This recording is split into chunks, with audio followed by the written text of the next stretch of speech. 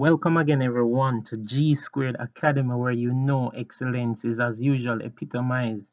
We try to simplify things. We try to make sure you guys understand what exactly you're trying to do in your sciences, especially chemistry over here, you know. Thank you, everyone, for liking my videos, watching the videos, sharing the videos, subscribing to the channel. You know, thank you for the support. I really appreciate it. And I hope that these videos have been helping you guys.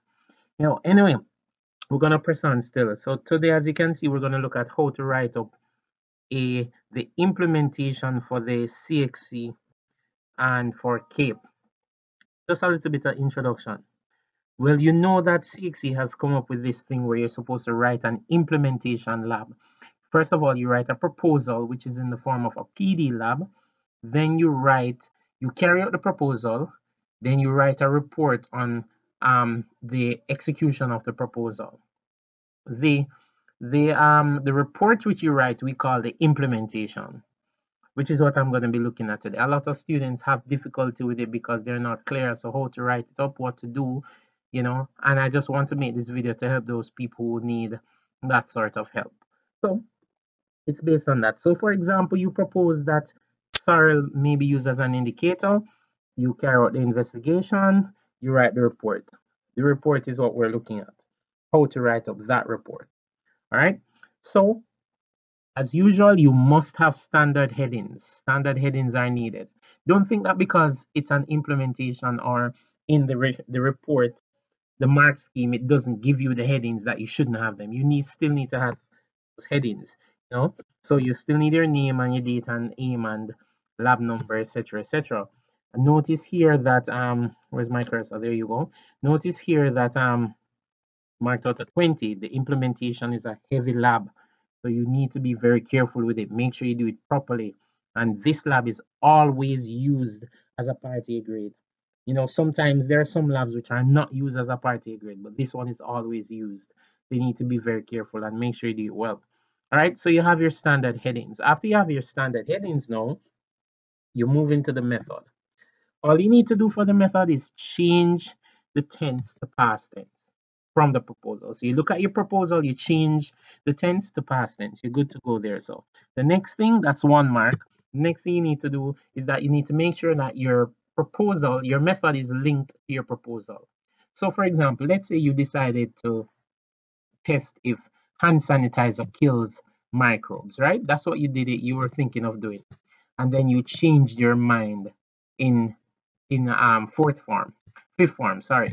And you say, you know, you say, okay, now I'm gonna do something else now because that doesn't interest me anymore. What was gonna happen is that your method in your implementation will be different from your proposal. As a result of that, you're gonna lose one mark. Just letting you know that. Once it doesn't match the proposal, it's you're gonna lose one mark for that. All right. So it's best if you try to stick to one thing. So get something that you really, really like stick to that one thing and carry through because you're gonna lose one mark. In your mind, you might say, "Hey, it's just one mark," but trust me, when you have like 79% and you want one mark to make it 80%, of course, and give you a one versus a two, one become one mark becomes very important. So try to stick to that. And so that's your method. After your method, now you have your results. Pretty straightforward stuff what you found out. What did you observe? What did I find out? What did I hear? What did I see? What did I do? And generally speaking, a table is best to record your results. Right? Tables are just easy to understand, they're easy to follow, etc. etc. So therefore, it's best if you do a table. 2021 now, so you may want to use pictures as well. You may have done a lab where, for example, you want to see microbial growth. You may not want to count the microbe, so what you do is you take pictures of your results, your before and after, and show what it looks like before and after the experiment, of course. And it's clear, it's clear what your results are because you can see it, you can see the evidence of it right there. And of course, it makes your report look quite colorful. So therefore, I would say if you can take pictures, take pictures. It's always good to have it. All right. Now, after your results, you need your data analysis. Once you have gotten these results, you need to put them in a, such a way that somebody can understand them. Okay, and this is of course your data analysis. Now, if you have a lot of data, you may want to do a graph. Graphs as just like tables are easy to follow, it may be difficult for you to plot the graph, but once you have done the graph, then it's easy for people to understand the trends in the graph, etc., etc. Okay, and you do a sample calculation. Another thing you can do in your data analysis. Now, let's say, for example, you were measuring the conductance of a number of electrolytes, Gatorade, Lucozade, um, Bull, um, whatever the case might be, Monster Energy Drink, Red Bull, etc. Okay, um, you and you have to calculate the conductance based on measurements you had. It's it's not advisable, I would say, that you do the conductance calculations for all of the samples. What you would need to do is just say, hey, here is the calculation for Red Bull, and it's the same calculation I used to get the values for the other samples. So you show that one sample calculation, and then you do the others on rough paper, and you put the values in your table, okay? And that is your data analysis. You don't have to do all the calculations, you just need to do a sample calculation, all right? So after that now, after you have done your lab, um, got your results, done data analysis on the results, you now need to explain the results. This is your discussion. And big thing here, do not restate the results in your discussion. It's a discussion, it's not an observation, or it's not a result. A discussion, of course, you are going to tell what your results mean. Okay? Explain um, what you found out to someone. Was there any trend? Did I pick up on any trend in this? State the trend and you could actually propose a reason for the trend. Notice I said propose and not necessarily tell exactly the purpose, the reason for the trend. Because you can propose things and it's not necessarily true, or you can say something and it's not necessarily true. Propose a reason for the trend. Right? Did the results match your hypothesis? Was it the same as what you predicted? And if it did not, say why you think it didn't match it up. You know, propose something why you think that's the case. I tell you, if you do these things, then I, I can guarantee you, you'll be getting those five marks. Okay, once you do it um, properly and you write clearly, etc., um, grammatically using um, proper scientific jargon. All right, then after your discussion, it's your reflection. This is your section of the report. This is where the examiner wants to hear your views, your opinions. Okay, CXC is very clear as to how they want their reflection done.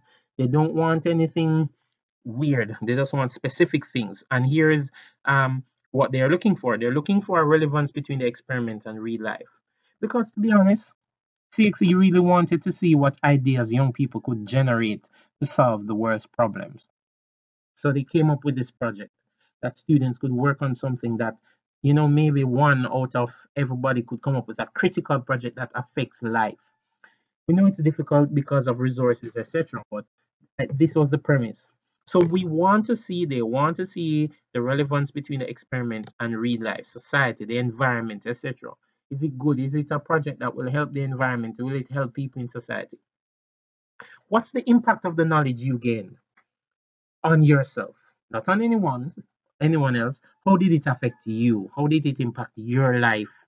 You know, state that and you get your one mark for that. Did you make any changes to your method or your procedure or the experiment at, on a whole? What did you change? Why did you change it? Well, you know, sir, I started out with 50 mils in my proposal of electrolyte to test my voltage and stuff, but then I realized 50 mils was just too much, so I changed it to 5 mils just to save on the resources, the materials.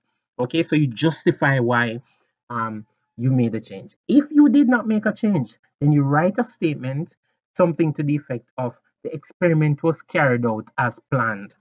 That tells the experimenter that you made no changes at all. Okay? Then, of course, you have your communication of information. A lot of people think that science doesn't really deal with language and your English doesn't have to be good and your grammar doesn't have to be good, but it needs to be because we are communicating information and grammar affects communication. Okay, so therefore, your grammar is marked for your scientific language, your clarity, etc. So that is where um you're gonna lose marks or gain marks, but you shouldn't lose marks for the the next the um the marks up here. Be sure about that. All right, so that's your reflection. Your opinion on the matter. After your reflection now, we go to your limitations.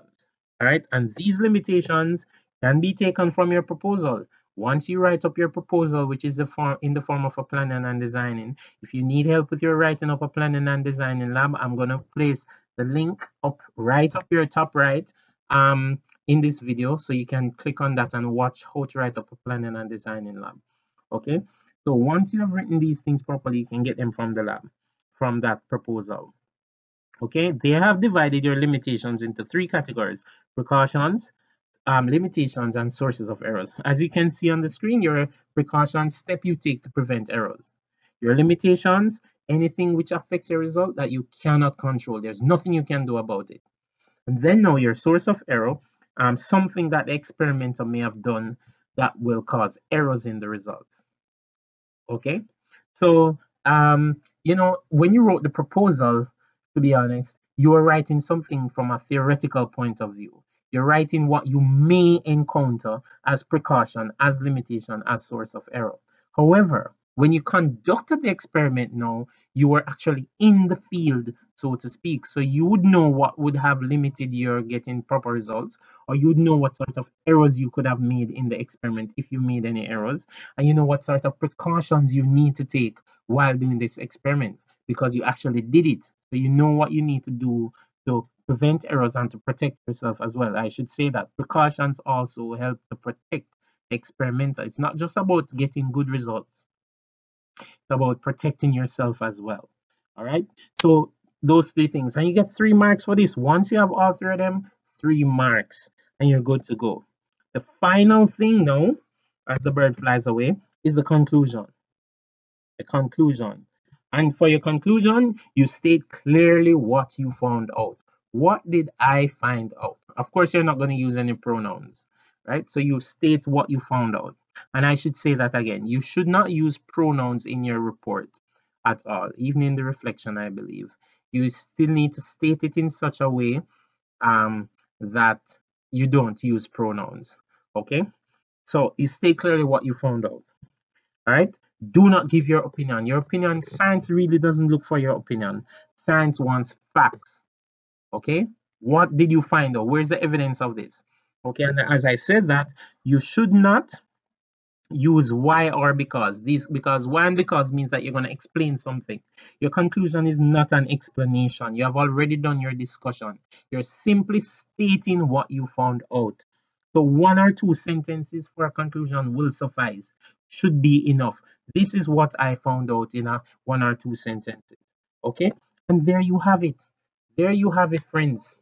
All right? I hope you guys found this video helpful. I hope it will help you. And then please like it share it with your friends subscribe to my channel g squared academy where excellence is epitomized. And i hope it will help you to get those good grades in your sbas so you can get your one with your distinction. Thank you guys for watching and all the best in your exams in your lab reports. See you soon